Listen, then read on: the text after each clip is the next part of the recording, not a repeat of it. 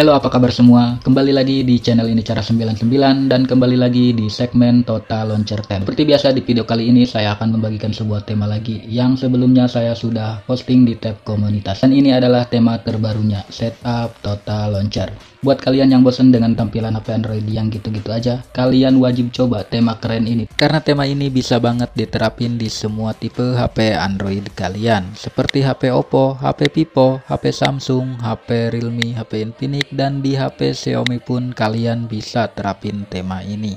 Dan tidak memerlukan akses ROT pastinya.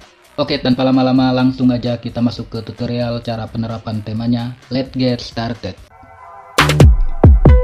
Nah, di sini pastikan kalian sudah download semua bahan-bahannya yang ada di bawah deskripsi video ini. Untuk cara download file temanya, kalian tinggal di tap aja link temanya yang ada di deskripsi.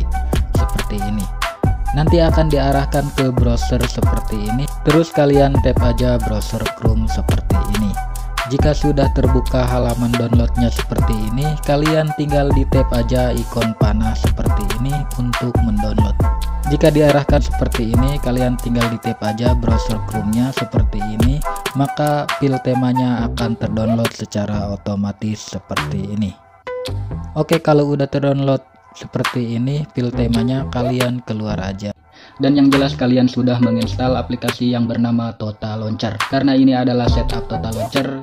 Nah, jika kalian sudah menginstal aplikasi Total Launcher-nya, Kalian juga harus download aplikasi yang bernama Jet Receiver di Play Store seperti ini. Nantinya aplikasi Jet Receiver ini digunakan untuk mengekstrak file tema yang udah kalian download sebelumnya.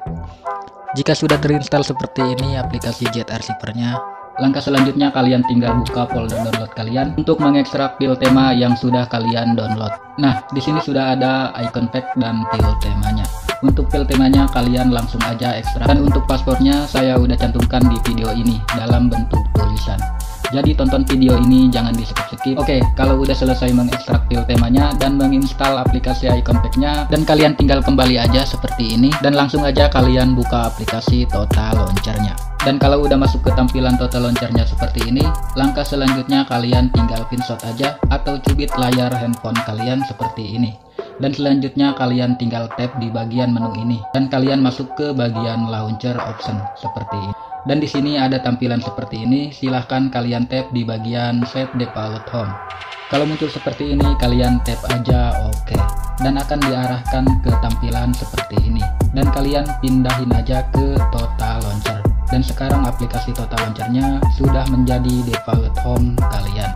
Kalau sudah seperti ini kalian tinggal pinset lagi aja layarnya. Dan kalian kembali tap di bagian menu ini. Dan kalian tap di bagian backup center seperti ini.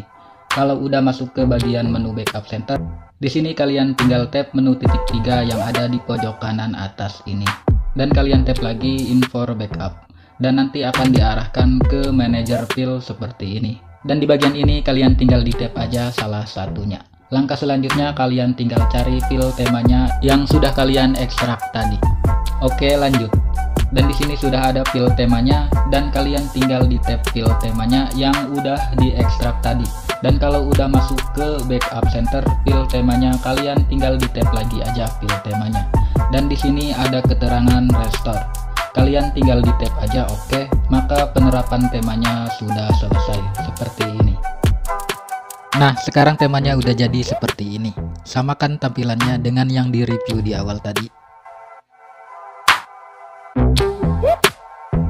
Oke selanjutnya untuk sedikit informasi aja jika kalian saat menerapkan tema total launcher ini tapi temanya ada yang kepotong atau tidak sesuai dengan layar handphone kalian untuk masalah seperti ini kalian tenang aja. Karena di sini kalian bisa sesuaiin sendiri temanya dengan layar HP yang kalian punya. Untuk caranya kalian bisa tonton video tutorialnya tap di sini.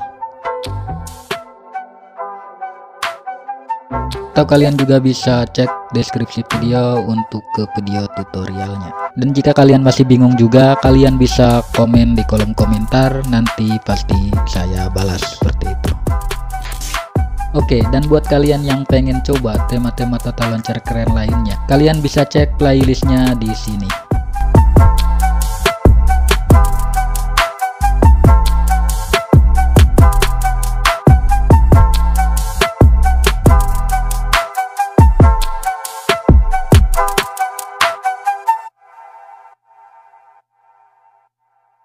Oke untuk sedikit tambahan informasi aja Jika di sebagian video kalian tidak menemukan link temanya Kalian bisa gabung di grup telegram Untuk mendapatkan link temanya. Karena link Mediafire udah gak boleh di youtube.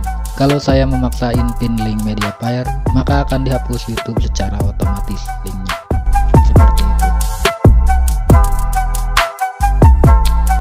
Oke mungkin segitu dulu aja review singkatnya. Dan buat kalian yang tertarik dengan temanya kalian bisa langsung download aja temanya. Yang link downloadnya saya udah cantumkan di kolom deskripsi